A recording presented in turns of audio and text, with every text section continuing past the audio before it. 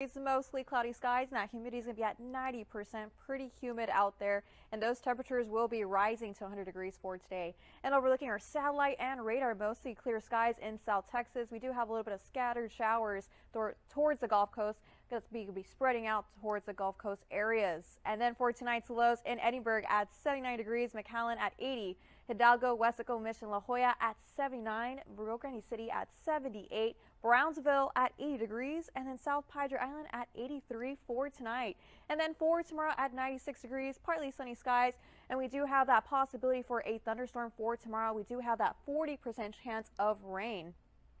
And overlooking the next 24 hours, you see where all this buildup of rain will be passing through South Texas and then clearing up Wednesday morning.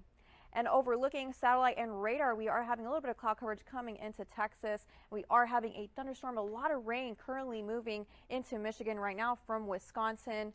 And moving on, we are going to go looking over tomorrow's highs in Edinburg at 95 degrees, McAllen at 96. Also in Mission, we do have that possibility for that thunderstorm. Rio Grande City at 98 degrees, a little bit of cloud coverage, a little bit of sunshine. Brownsville at 96 and South Padre Island at 91 degrees for tomorrow's highs. And overlooking our feels like temperatures, it is going to feel like 106 degrees for tomorrow. We'll be dropping out 104 and then back down to 99 for Friday. It's going to feel pretty warm within these next few days. And overlooking our extended forecast for this week for Wednesday, we do have that 40% chance of rain coming in, 96 for those highs, 79 for those lows, and Thursday, a little bit more cloud coverage coming in. We do have that 40% chance of rain for Thursday, Friday, Saturday.